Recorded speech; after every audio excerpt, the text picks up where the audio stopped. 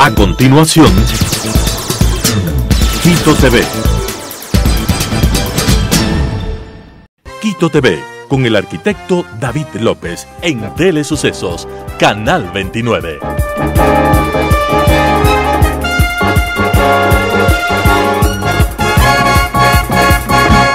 ¿Qué tal amigos? Bienvenidos a Quito TV, el espacio de la ciudad a través de Telesucesos, Canal 29, señal abierta, 29.1, 73 en Extreme TV Cable, 43 en Claro TV, Canal 6 en Cable Unión, Alfa TV, Canal 44, CB Televisión en el Cantón Mejía, en la ciudad de Machachi, y también nos pueden seguir desde cualquier parte del mundo www.telesucesos.net, ahí hay un botoncito que dice en vivo, le damos clic y nos ven desde cualquier parte del mundo, al igual que en YouTube, donde queda además colgado este y el resto de programas que producimos aquí en el canal. En YouTube, Telesucesos HD.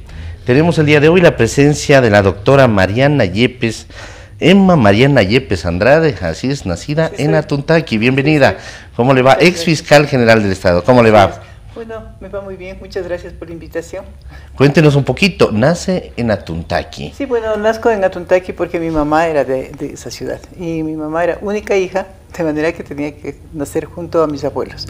Luego inmediatamente paso a Ibarra porque mi familia paterna es ibarreña y entonces ahí crecí, crecí, me eduqué hasta el colegio, cuando me gradué de bachiller y vine acá a estudiar. Correcto. ¿Su mamá a qué se dedicaba? Mi mamá era una ama de, casa, pero una persona maravillosa, porque ella es quien me ha impulsado todo el tiempo. Después vivió conmigo aquí hasta, hasta su fallecimiento, pero ella realmente es la, la creadora de aquel concepto que rige mi vida. Nada es imposible.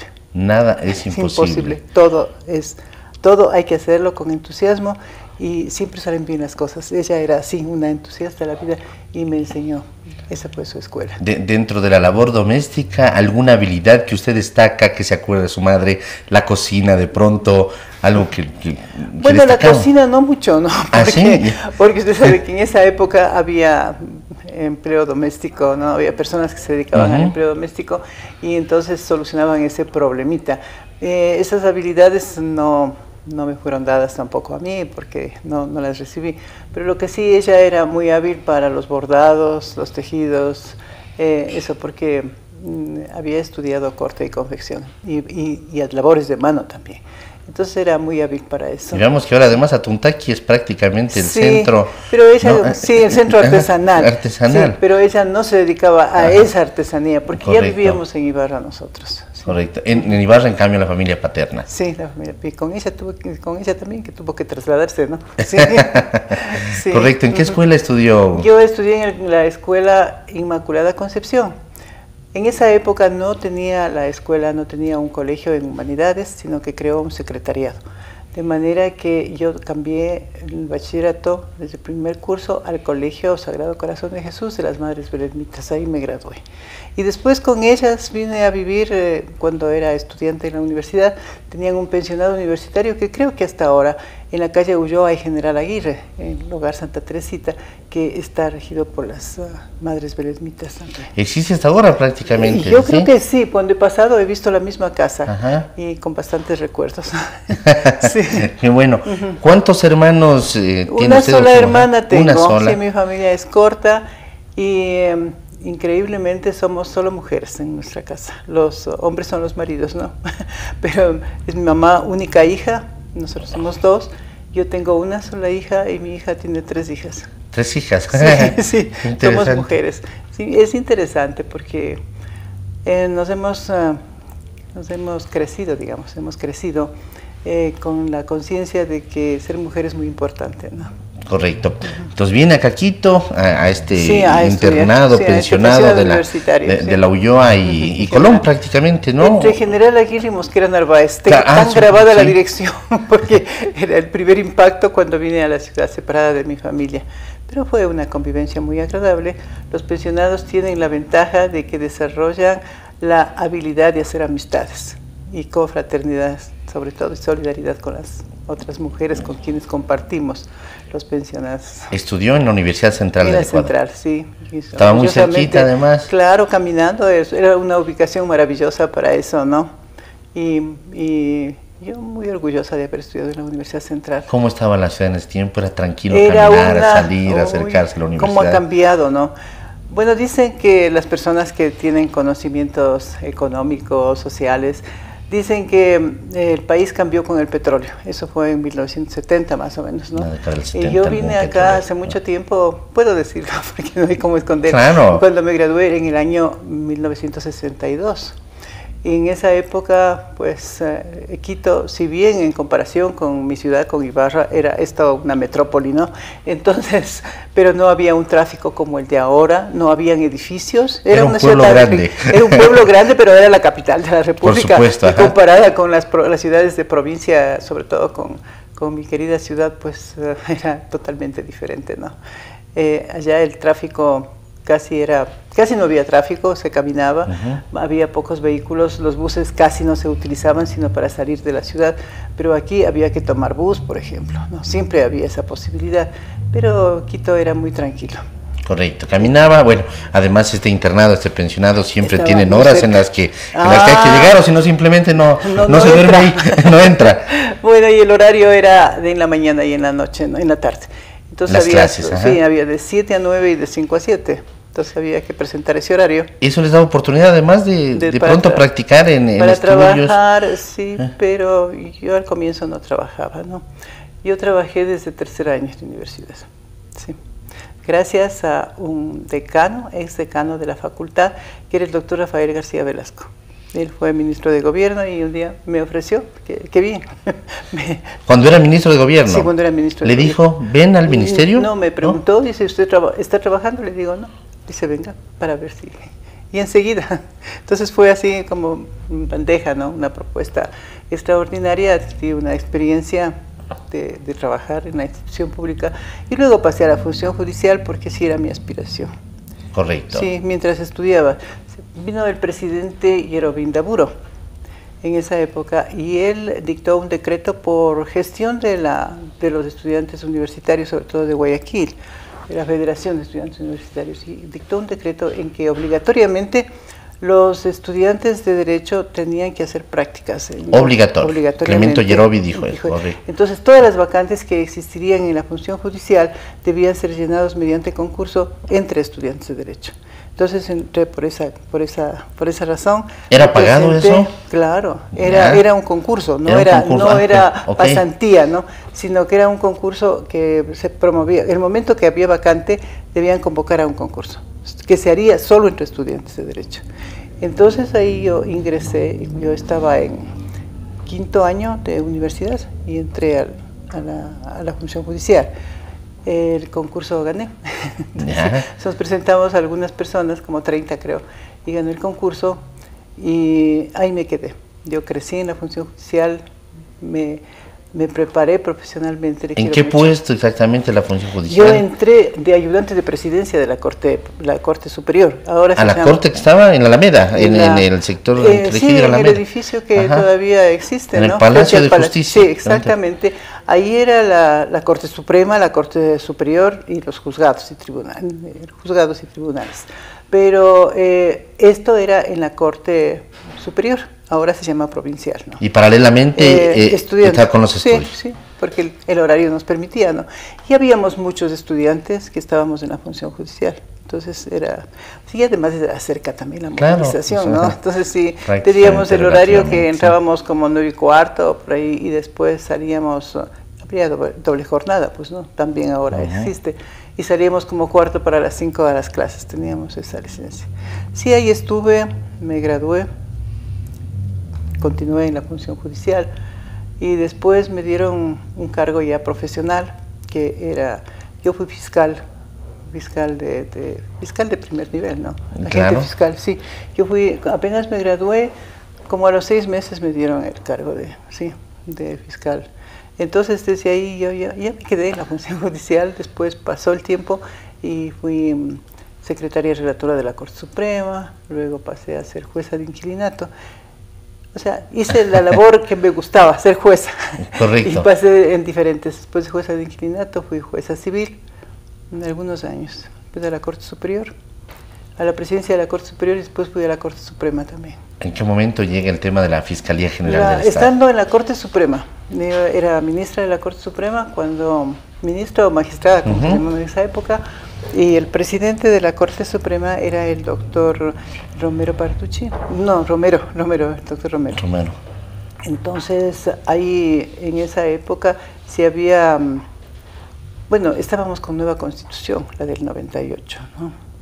Y ahí la Fiscalía había sido una institución que estaba primero dentro de la función judicial. Por esa razón es que, estando yo dentro de la función judicial, accedo a una fiscalía, ¿no? Claro, no había todavía la independencia, no, no, éramos dependientes. Nosotros funcionábamos, era otro modelo, inclusive otro diseño administrativo. Los juzgados tenían su jefe, que era el juez, y el personal de apoyo, la secretaria, y el fiscal estaba dentro de la, del, juzgado. Y con la, Procuraduría también ahí. Eh, después. Después, ya. Fue como una conquista que tuvo el Ministerio Público, que se llamaba en esa época, y una conquista de independencia, de ubicación institucional y hubo una presión para que pase al ministerio, a la, a la Procuraduría, porque había un, yo creo que una comprensión equivocada. Eh, después me di cuenta de eso porque en algunos países se llama Procuraduría la Fiscalía. Claro. Entonces está México, por ejemplo, está Argentina, eh, algún país centroamericano, me parece que Panamá, pero esa no es la Fiscalía. Entonces, pero fue una ganancia salir de la función judicial y pasar a otra institución, a la Procuraduría. Pero el director del Ministerio Público, el jefe del procurador, y así se pasó unos años. Después ya se independizó en el año 97, en que se dicta la primera ley del Ministerio Público, una ley orgánica, y se designa a la... Y la Constitución indica, la Constitución del 98, basándose en la reforma legal, establece una fiscalía con rango constitucional desde ahí prácticamente es lo que ahora tenemos, ¿no? Y es independiente y la Constitución del 98 dice la Fiscalía es un órgano independiente de los demás poderes del Estado. O sea, era totalmente independiente. En ese marco me designan, porque la Corte Nacional propone mi terna la Corte Suprema, pues en esa Una terna donde usted estaba incluida. Exactamente, sí propone una le, propone la Corte. A la Asamblea, al, al, Congreso en ese tiempo. Sí, en el Congreso. Correcto. y el Congreso decide. Y el Congreso me designa, ¿no? Sí. Sí, esa, esa, es la historia y entonces yo llego, pero saliendo de la función judicial con mucha tristeza, porque ya la Fiscalía no era parte de la función judicial. Por supuesto.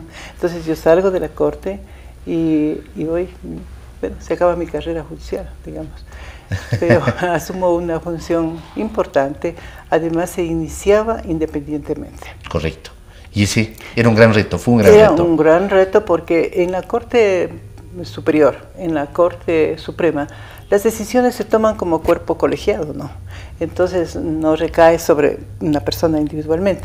A mí me tocaba asumir todo en forma personal.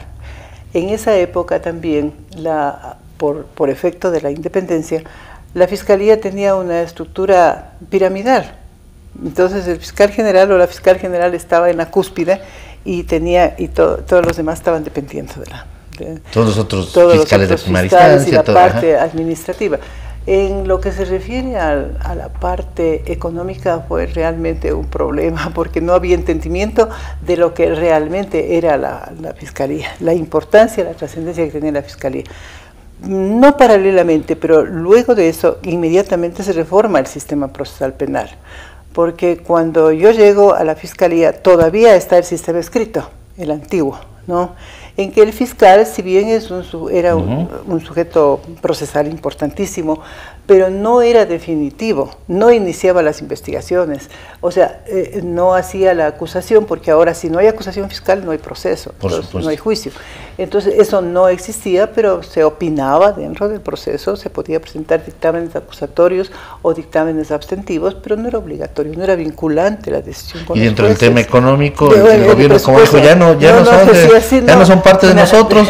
Sí, o sea, independientes, entonces había que estar golpeando puertas para que nos den el presupuesto, ¿no? Y ventajosamente ah, hubo la apertura de los ministros de finanzas en aquella época que colaboraron mucho con...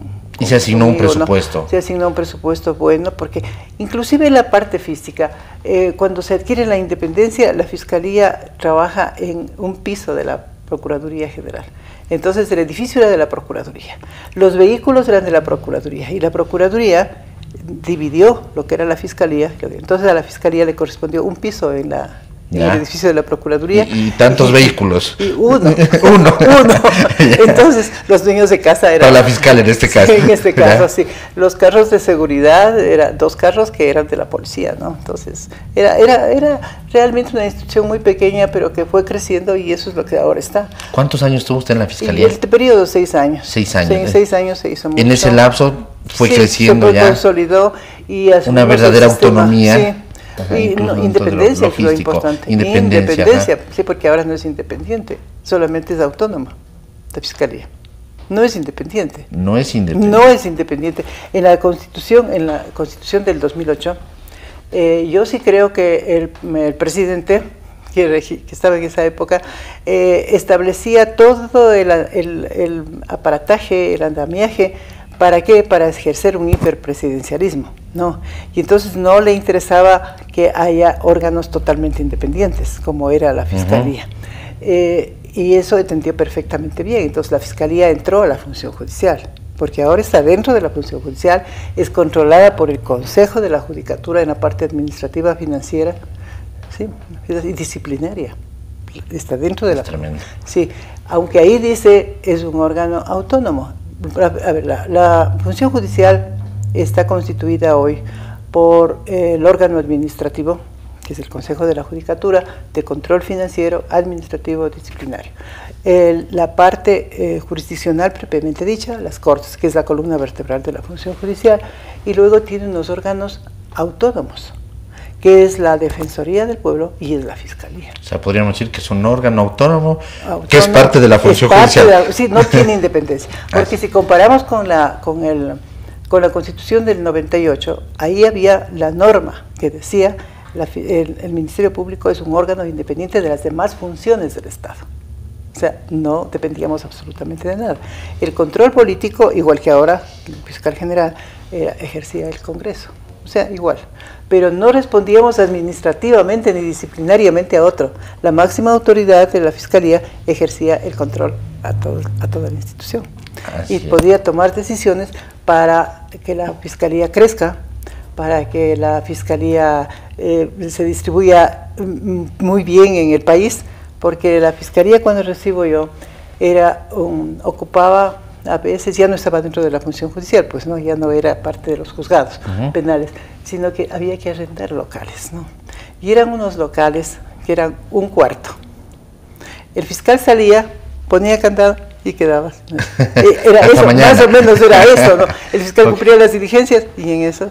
Entonces, ah, aquí se cambió mucho, se empezaron a adquirir edificios, eh, adquirimos aquí en Quito dos edificios, en Guayaquil otros dos, en Puerto Viejo y en Cuenca. Eh, los edificios que adquirimos. Los demás fueron arrendados, pero locales y decentes, ¿no? Entonces, así porque eh, de, eso se trataba, porque asumíamos el rol importante. ¿Cuánto tiempo diario le demandaba esa labor de fiscal? Si podemos, todo, todo, el, tiempo. fue una dedicación absoluta. Aparte, Sábados, domingos. Todo, todo el tiempo, porque aparte de estas necesidades administrativas, eh, había que también conocer los casos penales, ¿no? Entonces, yo creo que la fiscalía sí es, un, es una función, ser fiscal general es una función muy delicada y eh, ahora tiene otros problemas, ¿no? Ha crecido la corrupción espantosamente y a altísimos niveles, también vivimos una época de delincuencia, pero no olvidemos que en cada época hay problemas. En la época que me correspondió asumir, el primer problema era eh, hacerle marchar a la Fiscalía como órgano independiente.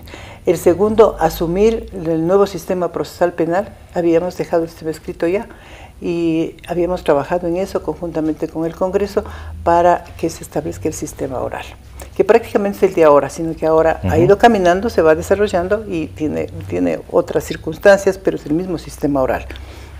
Ya, ya dejamos el sistema escrito completamente y eso fue un reto bien grande. Requería el mayor número de fiscales, requería una estructura física importante para que el fiscal sea, tenga su respetabilidad dentro de la sociedad, ya no sea el, el empleado oscuro cuyas decisiones, cuyos criterios eran aceptados o no por el juez.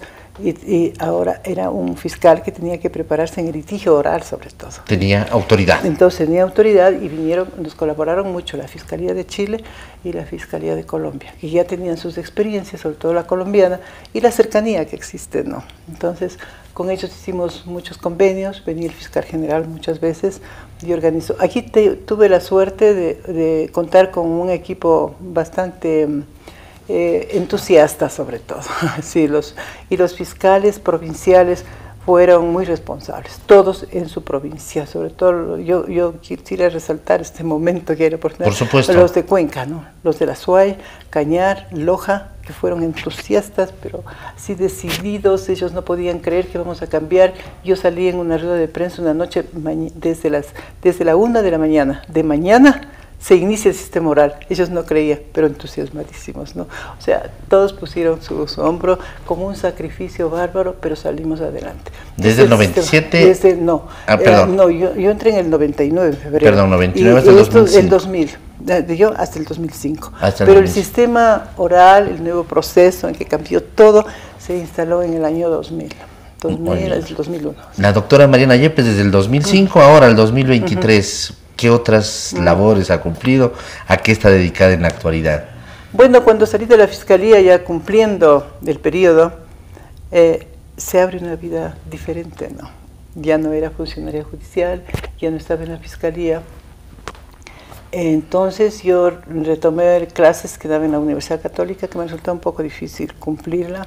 Había dejado la Universidad Central, que también daba clases porque no me permitía. Por supuesto. Imposible. Entonces retomé las clases, la pero docencia. la docencia, sí.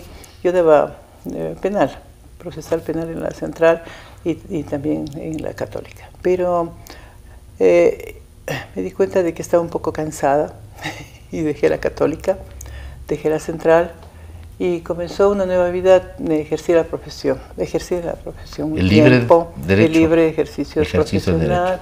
Eh, y, y, bueno, y en eso sigo, ¿no? Estoy como dejando, pero en eso sigo. He retomado también, bueno, estaba en la Universidad Andina, comencé también cuando estaba de fiscal, comencé en la Universidad Andina en, un, en una especialización superior de Derecho Procesal. Y eso estuve hasta hace unos tres años tal vez, sí, estoy dejando. Y en la Universidad Central regresé al, al posgrado, a un posgrado sobre Derecho Penal y ahí he colaborado también. Pero ya llevo como un año, tal vez que ya no, no, ya estoy saliendo. Actualmente mm, más me dedico a la mediación, soy mediadora en la Cámara de Comercio, tengo también colaboro con una fundación que tiene un centro de mediación, una fundación privada llamada Diálogos, y también en una, en una organización de mujeres muy antigua, que soy presidenta, y ahí trabajamos con un centro de mediación y un centro de capacitación. O sea, por ocupaciones tengo Muy bien. bastantísimas. ¿Y, la parte familiar, cómo la, la con eso, con su hija, con sus nietas? Bueno, es que yo tengo una sola hija. Una sola hija y nietas, Cuando mi ¿eh? hija nació, yo estaba en la función judicial y mi mamá fue un, soporte muy grande, ¿no? Ella me ayudó en el, en el desarrollo infantil de mi hija, en la me colaboró. Eh, mi hija pues ya es uh, una persona totalmente independiente, es profesora a tiempo completo en la Universidad Salesiana, ella es educadora. Y ella se fue por la línea de la educación. De la educación, sí, de la educación. Y ahora ella sigue ahí en la universidad, tiene, sus hijas son ya grandes. La primera es abogada también, la segunda es cineasta. Ah, qué bien. Sí, y la tercera, pues, hay gran diferencia, ella está en el colegio todavía. Se ven eh, habitualmente. Habitualmente, sí, tenemos, ah, sí tengo bastante relación con las, con las niñas y, y con la mamá, obviamente, ¿no? sí, eh, ya pasa el tiempo y las, ah, obligaciones familiares van decreciendo, ¿no es cierto? Entonces, ah, en el, en el hogar mismo, en mi hogar, en mi matrimonio, pues no tengo ese tipo de obligaciones. Más Correcto. Bien, más bien se va robusteciendo el... ¿Su esposo se dedica a...? Bueno, él tenía antes ah, un periódico, pues, ¿no? Un medio de comunicación. Eh, yo creo que las posiciones ideológicas con el gobierno que tuvimos hace, hace algunos años, no tanto, unos ocho años, y también la pandemia le obligaron a que, a que cambie de actividad. ¿no? Entonces este medio de comunicación ya no es, bueno, la pandemia yo creo que también fue un factor importantísimo porque ya los medios de comunicación escritos ya no están, están como casi en desuso. Entonces ah, el medio de comunicación no se ha perdido, eh, está llevándose en forma digital. ¿Cuál periódico es? La Hora. La Hora, muy bien. Pero La Hora está a cargo de la hija, ¿no? Que es periodista y ella está asumiendo eso. Correcto. Eh, él, mi, mi esposo tiene de todas formas una revista semanal que saca él que es muy buena propuesta. Sí, Ah, sí, sí, le conoce. Sí, por supuesto. Entonces él está dedicado a su revista Se va a dar con muchísimo entusiasmo, así, mística sobre todo. Por supuesto, por supuesto. Doctora Yepes, se nos ha acabado el tiempo, pero... No le Sí, créame, el tiempo de televisión, pero tendremos que, que volver a hacer un, un, un, nuevo programa en el que podamos un poquito más hablar sobre todo también de lo que es la labor. Así que ha sido un gusto para nosotros y creo que va a ser un gusto mayor sobre todo para los televidentes también. Muchas gracias. A la orden siempre. A la orden también. Así es. Amigos, ha sido la doctora Mariana Yepes, ex fiscal general del Estado, Emma María Yepes Andrade, ¿no? Emma Mariana. correcto. Yepes Andrade, jurista y abogada ecuatoriana, fue fiscal general del Estado entre el 99 y el 2005. Ha estado el día de hoy con nosotros hablándonos de tópicos familiares, profesionales, de su desarrollo profesional. Amigos, que pasen bien. Hasta la próxima. Felicidades.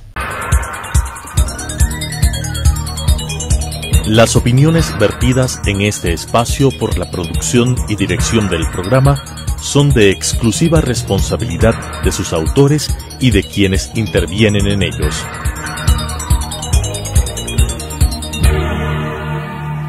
Quito TV con el arquitecto David López en Telesucesos, Canal 29.